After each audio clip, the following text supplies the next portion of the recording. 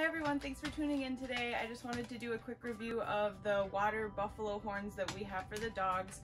I bought these on Amazon and I am really impressed with them. The packaging said that these were going to be between six to nine inches long and I ordered, they came in a two pack and I ordered two packages so I got four bones total and all four bones, every single one was over 10 inches long. So super impressed with that. These are the brand is Deepthi, D-E-E-P-T-H-I. I have a link to it in the description below. These say that you can fill them with peanut butter or something else in the inside of the horn to keep them busy longer. I have never done that, but I see that you could easily do that with them.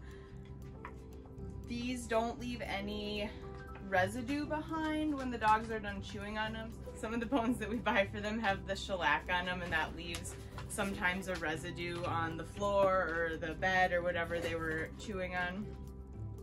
Another great thing about these bones is that they last a really long time. So they will have these for months before I replace them. What happens is they start to flake off on the ends. When you get them, they're solid, black, shiny, beautiful. And after a while, they chew on them and they start to flake off into little pieces. And then once they get to a certain point, I, I do replace them, but they can chew on them for quite a while before you have to replace them. The reason I like the longer bones for the big dogs is so that they can hold it in their paws while they're chewing on it. A lot of the bones that we find in the stores are so short that they can barely hold them to chew on them. So that's one of the benefits of these longer horns that I found. There is an affiliate link to these bones in the description below. If you use that out, that gives us a little bit of kickback on anything that you purchase through the link. So please click that if you if you plan to buy these.